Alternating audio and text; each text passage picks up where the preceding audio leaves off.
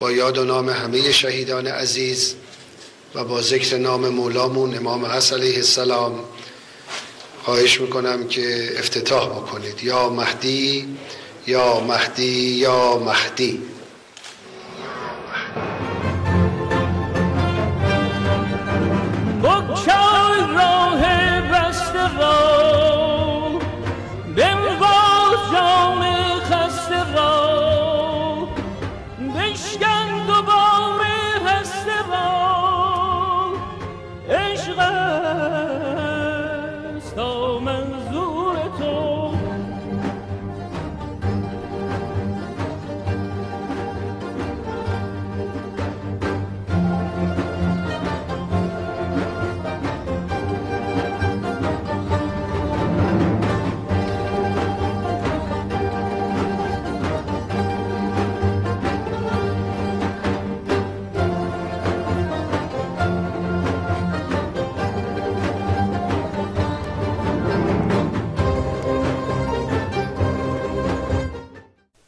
هموطنان عزیز با سلام و درود. من حسن دایی خوشحالم که یک بار دیگه در خدمتتون هستم. از تابستان 1381 که برنامه مخفی هسته جمهوری اسلامی برملا شد رژیم ایران یک کارزار گسترده در داخل و خارج از کشور به راه انداخته تا برنامه هسته ای رو مورد حمایت اکثریت مردم ایران جلوه بده. مردمی که گویا انرژی هسته ای رو حق مسلم خودشون و مایه غرور و افتخار می‌دونن پیروزی های پی در پی هسته ای رو جشن می‌گیرند. در این جشن ها کیک زرد می‌خورند و به هیچ وجه حاضر به دست کشیدن از برنامه هسته نیستند. برای انرژی هسته ای سمفونی ساخته شده و شاعران درباره حق مسلم هسته هم شعر سرودند. چند هفته پیش در نوامبر 2013 تریتا پارسی لابیست طرفدار رژیم در آمریکا به همراه رئیس یکی از مؤسسات نظرسنجی در یک کنفرانس مطبوعاتی در واشنگتن مدعی شدند که طبق آخرین نظرسنجی علمی از ایرانیان داخل کشور 96 درصد از مردم ایران اشتباه نشیده اید. 96 درصد از مردم ایران به طور قاطع از برنامه هسته‌ای دفاع می‌کنند و معتقدند که این برنامه هستی آنقدر مهم است که به تحریم و فشار اقتصادی میارزد. یعنی حتی به قیمت ادامه تحریم ها بایستی به اون ادامه داد. کارزار گسترده رژیم ایران برای مردمی نشان دادن برنامه هسته‌ای سه بخش داره. نخست همه تریبون های رسمی دولتی نماز جمعه و رسانه های عمومی به کار گرفته میشن تا ضمن دفاع از برنامه هسته‌ای اون رو در راستای منافع ملی و اقتصادی کشور معرفی کنند و به موازات اون صدها تظاهرات و مراسم جشن و پایکوبی هسته‌ای سازماندهی شده تا مردم ایران رو حامی این برنامه معرفی کنند دوم سانسور شدید و گسترده در همه رسانه های داخل کشور. به منظور جلوگیری از هر گونه مخالفت با برنامه هسته است. هیچ رسانه حق چاپ مقاله و اظهار نظر در مخالفت و یا نقد برنامه هسته ای رو نداره.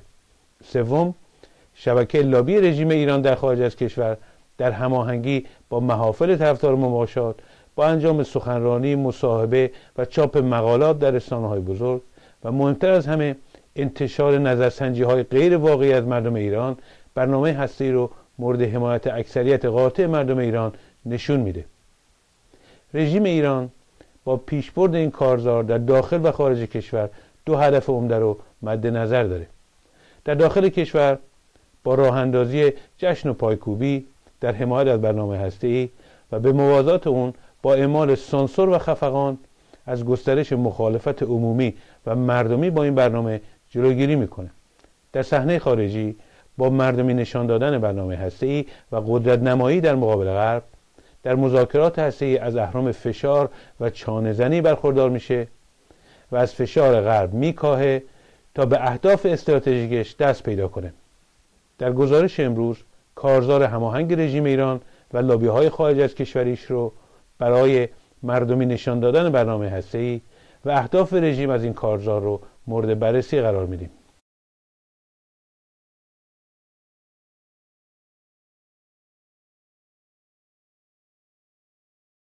طی 11 سالی که از علنی شدن برنامه هسته‌ای میگذرد رژیم ایران یک سانسور بسیار سخت بر رسانه های کشور حاکم کرده تا هیچ صدای منتقدی در مخالفت با برنامه هسته‌ای به گوش نرسد. رژیم با این سانسور تلاش می‌کنه تا اهداف نظامی این برنامه و هزینه هایی که این برنامه بر مردم ایران بر سرزمین ایران و بر نسل کنونی و آینده کشور تحمیل کرده و تحمیل خواهد کرد رو از نظر مردم پنهان کنه. احمد شیرزاد نماینده اصلاح طلب مجلس ششم رژیم ایران از معدود سیاستمدارانی است که گهگاه به خود جرأت داده و در مورد برنامه هسته‌ای صحبت کرده. شیرزاد در سخنرانی خود در 12 آبان 1385 در دانشگاه علوم اجتماعی دانشگاه تهران گفت من سوالم این است که این همه هزینه دادن به خاطر چیست؟ اصلا از ابتدا چه کسی در جریان این مسائل و این پروژه ها بود؟ هیچ کدام از مجالس اول تا ششم که ما بودیم در جریان این پروژه ها نبودند و هیچ نوع شفافیتی وجود نداشت. این روند اکنون به جای رسیده که اساسا امروز هر کارشناسی می‌خواهد گزارشی بنویسد و بحثی بکند ناچار به شعار انرژی هسته حق مسلم ماست می‌رسد. چرا؟ چون در نهایت در این مسیر به نهادهای امنیتی می‌رسیم و کسی نمی‌تواند حرفی بزند. اما از اونجا که برنامه هسته و تحریم های ناشی از اون نارضایتی های اجتماعی رو دامن می‌زنه و آینده نظام رو به خطر میاندازه برخی از مسئولین و وابستگان رژیم در مواردی بسیار نادر صدای اعتراض خود رو نسبت به سانسور و ممنوعیت بحث در مورد برنامه هسته ابراز کردند. در اینجا به دو نمونه از اونها اشاره می‌کنیم. صادق زیبا کلام از کارشناسان حامی دولت حسن روحانی در مقاله در خرداد ماه 1392 نوشت علیرغم اهمیت حیاتی موضوع هسته‌ای برای کشور متاسفانه مسئولین قدغن کردند که هیچ مطلبی در خصوص برنامه هستی کشور که در جهت تایید و تصدیق سیاست های رسمی نظام نباشد نه گفته شود و نه نوشته شود.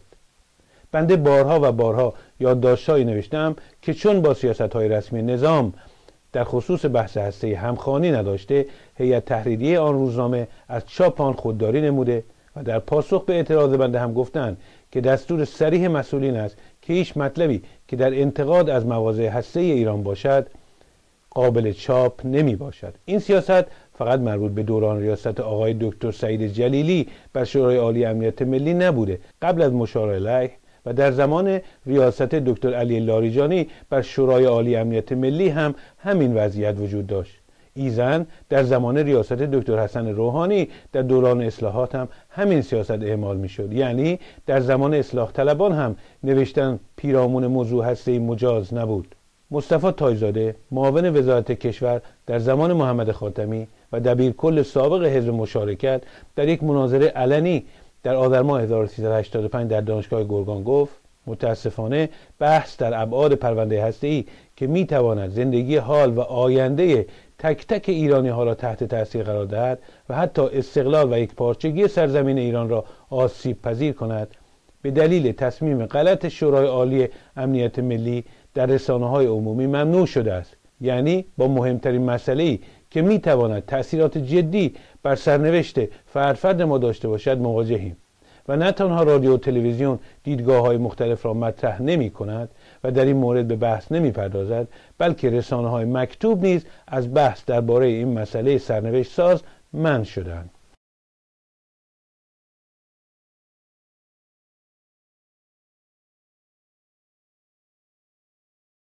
به موازات تبلیغات رسمی در داخل کشور لابی های رژیم در خارج به ویژه در آمریکا با حمایت محافل طرفدار دوستی و مماشات با رژیم ایران یک کارزار بزرگ رسانه‌ای برای جا انداختن این ایده که مردم از برنامه هسته‌ای دفاع می‌کنند به راه انداختند صدها مقاله و گزارش در رسانه های مهم و مؤسسات تحقیقی بانفوذ منتشر شده. دهها سخنرانی مصاحبه و کنفرانس برگزار شده تا برنامه هسته‌ای مردمی نشان داده بشه. در کنار این تبلیغات رسانه‌ای نظرسنجی های غیر واقعی و در خیلی موارد کاملا جعلی منتشر میشه که در همه اونها اکثریت ایرانیان از برنامه هسته‌ای حمایت می‌کنند و به هیچ وجه حاضر به دست کشیدن از غنیسازی اورانیوم نیستند. جالب اینجاست که رسانه های حکومتی در ایران همین نظرسنجی های مثلا خارجی که بعضا معموران خود رژیم ایران و لابی هاشون درست کردن رو به عنوان یک نظرسنجی علمی و تهیه شده در خارج از کشور در رسانه های داخل منتشر می‌کنن تا مردم رو فریب بدن. این نظرسنجی ها رو میشه به دو دسته تقسیم کرد. دسته اول از طریق تلفن اون هم از خارج از کشور انجام میشه و از این رو پایه و اساس علمی نداره و فاقد اعتباره. زیرا اکثر شهروندان ایرانی عقاید سیاسی خودشون رو به ویژه در مورد برنامه هستی و گناه حکومت در ویرانی کامل کشور رو به مخاطب ناشناس تلفنی اون هم از خارج کشور ابراز نمی کنن. اما محافلی که خواهان دوستی آمریکا با رژیم ایران هستند با آگاهی از بیپایگی این نظرسنجی ها اونها رو تولید و منتشر می‌کنن اما بخش بزرگی از این نظرسنجی ها توسط محافل طرفدار مماشات و عوامل ایرانیان ها در تهران و واشنگتن انجام میشه که بعضا معموران و کارمندان رژیم ایران هستند. این نظرسنجی های جلی آنقدر به نفع رژیم هستند و آنقدر نتایج باور نکردنی دارند که هر ناظر بیطرفی رو به خنده وامی داره. اما رسانه های بزرگ آمریکایی اونها رو با آب و تاب منتشر می‌کنند مرکزی در دانشگاه مریلند به نام World Public Opinion بیشترین نقش در تولید این نظرسنجی های جعلی رو داشته و از سال 2007 تا کنون بدون وقفه به این کار مشغول بوده. در اینجا تیتا پارسی و چند نفر از چهره های طرفدار مماشات برای ارائه اولین نظرسنجی در سال 2007 دیده میشن.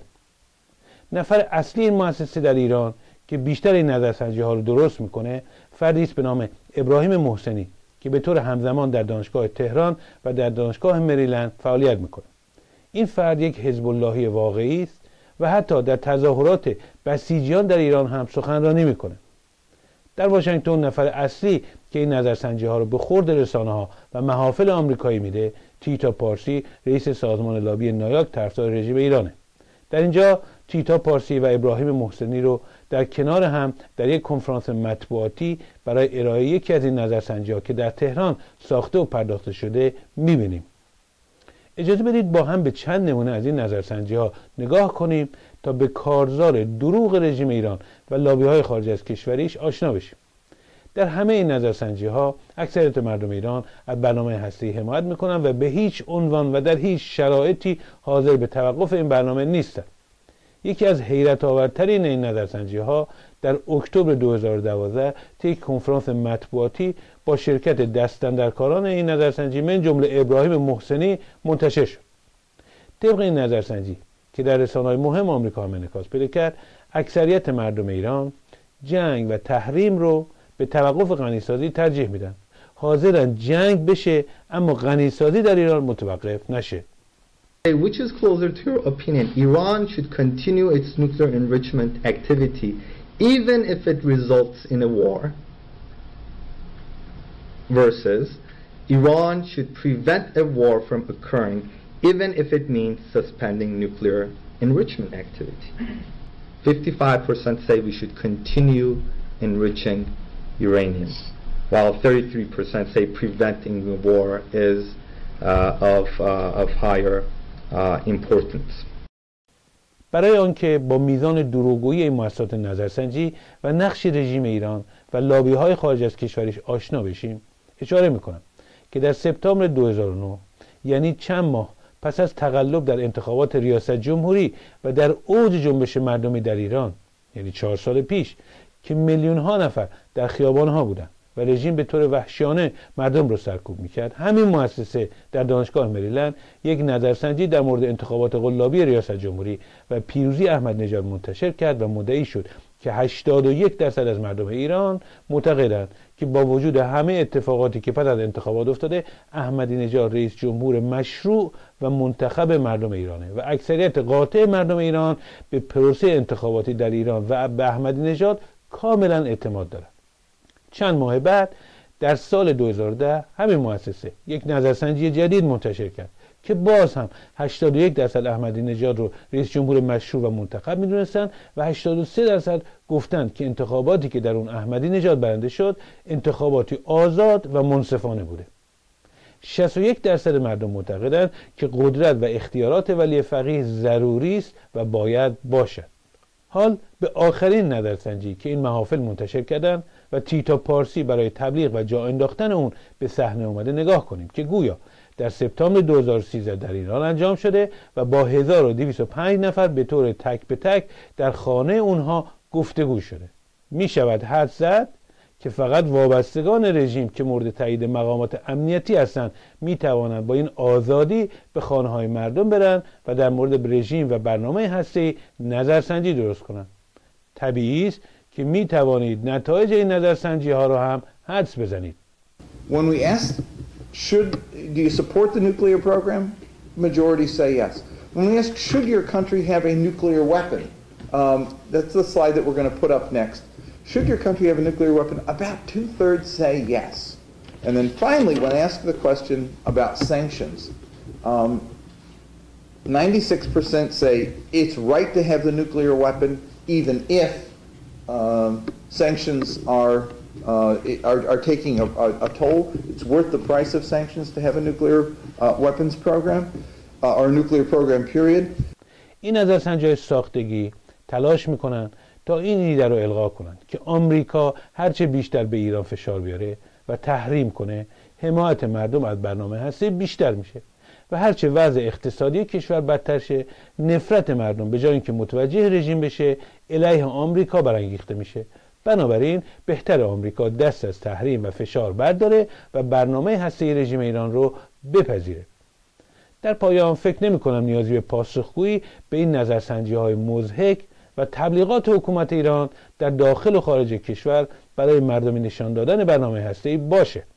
فقط اشاره می‌کنم که علا رغم سانسور شدید مردم ایران اگر فرصتی پیدا کنند پرده سکوت و اختناق رو کنار می‌زنند و مخالفت خودشون با برنامه هسته‌ای که کشور رو به ویرانی کشانده رو نشون میدن.